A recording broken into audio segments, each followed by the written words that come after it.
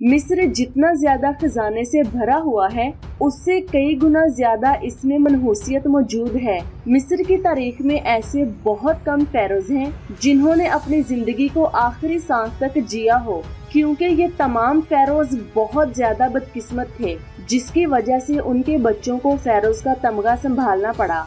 जब बात इजिप्ट के सबसे मशहूर और बदकिस्मत फेरो की आती है तो इसमें सबसे पहला नाम टूटन खामन का आता है। ये एक ऐसे फेरो थे जिनके बारे में तारीख में बहुत कम लिखा है। इन्होंने न सिर्फ़ कम उम्र में मिस्र की हुकूमत संभाली, बल्कि इनकी मौत भी बहुत जल्द हो चुकी थी। इनकी मौत की वजह ना तो तारीख में लिखी गई है और ना ही साइंटिस्ट आज तक जान पाए हैं। टूटन खामन इस कदर बदकिस्मत था कि इसने शादी भी अपनी ही बहन से की थी क्योंकि इन्हें किसी और पर यकीन नहीं था। भले ही आज दुनिया में टूटन खामन बहुत ज़्यादा मशहूर हैं, लेकिन इनके नाम से ज़्यादा इनकी कर्ज मशहूर है। जो टूटन खामन ने उन्हें दिया था जिन्होंने उसकी कबर ढूंढ ली थी। क्या सच में टूटन खामन ने मरने के बाद उसकी कब्र को ढूँढने वालों को कर्ज दी थी, या फिर ये सब अफवाहें हैं? ये आप जानेंगे आज की इस वीडियो में। 1922 में आर्कियोलॉजिस्ट इजिप्ट के रेगिस्तान में कुछ ऐसा ढूँढने की कोशिश कर रहे थे, जो उनकी किस्मत बदल सके। मिस्र से मिलने वाली हर छोटी से छोटी चीज़ बहुत ज़्यादा कीमती होती है, क्योंकि ये चीज़ें कीमती पत्थरों से बनी होती हैं। मुसलसल एक साल से चल रही इस रिसर्च में जब तमाम इन्वेस्टर्स के पास पैसे खत्म हो गए तो अक्टूबर 1922 में रिसर्च हेड हार्वर्ड कॉटर को ये पैगाम पहुँचाया गया कि अब उनके पास सिर्फ़ और सिर्फ़ एक महीना बचा है। अगर इस वक्त में कोई कीमती सामान मिल गया तो ठीक है, वरना ये रिसर्च उन्हें बंद करनी पड़ेगी।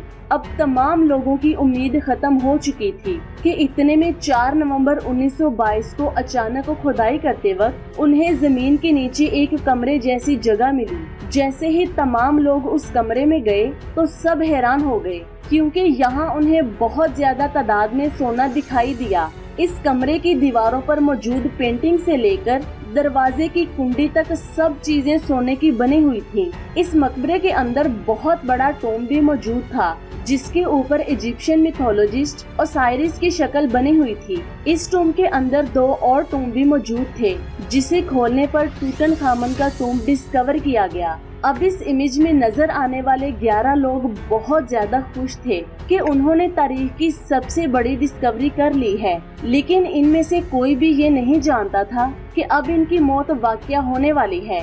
इन तमाम लोगों की मौत चार से पाँच सालों के दरमियान बहुत ही अजीबो गरीब तरीके से हुई थी। कोई हार्ट अटैक से मरा और कोई एक्सीडेंट से। यहाँ तक कि लॉर्ड करनावन, जिसने इस रिसर्च में फंडिंग दी थी, वो भी टूम के पास जाने के एग्जैक्ट छह माह बाद 5 अप्रैल 1923 को मच्छर की काटने की वजह से मर गया था। अब सब लोग समझ चुके थे कि वही लोग मर रहे हैं जो टूटन खामन के टोम के पास गए थे। अब यहाँ से टूटन खामन की कर्ज की कहानी शुरू होती है। कुछ लोगों का कहना है कि हो सकता है टूटन खामन ने उन लोगों को गुस्से की वजह से कर्ज दी हो जिन्होंने इसे मौत की नींद से उठाया है और वो तमाम लोग इतनी जल्दी बेमौत मारे गए। लेकिन ये बात बेबुनियाद भी हो सकती है, क्योंकि अगर लॉजिकली देखें तो जिसने इस टोम को डिस्कवर किया और सबसे पहले खोला, उसे तो फिर एक माह के अंदर ही मरना चाहिए था, क्योंकि हॉवर्ड ही वो मेन शख्स था जिन्होंने फेरो को उसकी नींद से डिस्टर्ब किया था। यहाँ पर हैरान करने वाली बात ये है कि जिसको सबसे पहले मरना चाहिए था, वो 16 साल बाद चौहत्तर साल की उम्र में कुदरती मौत मरा था। आखिर सच क्या है? इसके पीछे सच्चाई है भी या फिर नहीं ये कोई भी नहीं जानता। लेकिन जब मैंने इस पर मजीद रिसर्च की तो मुझे पता चला कि जिस थ्योरी को लेकर हम इतने ज़्यादा एक्साइटेड हैं, एक्चुअल में उसकी बेस ही एग्जिस्ट नहीं करती। आइए मैं आपको इसके बारे में बताती हूँ। टूटन खामन के जिस कर्ज के बारे में हम बात करते हैं कि टूटन खामन की रूह ने उन लोगों को कर्ज दी थी जिसने इसके टूम को डिस्कवर किया था। तो मैं आपको बता दूँ इजिप्शियन मिथोलॉजी और इजिप्शियन हिस्ट्री में कर्स वर्ड का कहीं भी ज़िक्र नहीं है। अगर उनकी मिथोलॉजी में और उनकी हिस्ट्री में ऐसा कुछ एग्जिस्ट ही नहीं करता, जिसकी वजह से टूटन खामन ऐसा कुछ जानते ही नहीं थे, जिसकी वजह से ये साफ़ वाजे है कि टूटन खामन और इजिप्ट के किसी भी केस में इसकी पॉसिबिलिटी ज़ीरो है। और अगर बात की जाए उन 11 लोगों की मौत की तो वो एक इतफाक था। लेकिन ये बात ज़रूर है कि टूटन खामन की मौत आज भी बहुत बड़ा राज बनी हुई है।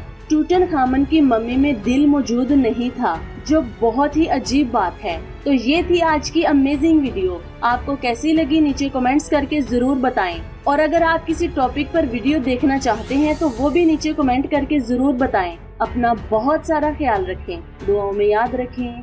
अल्लाह हाफिज।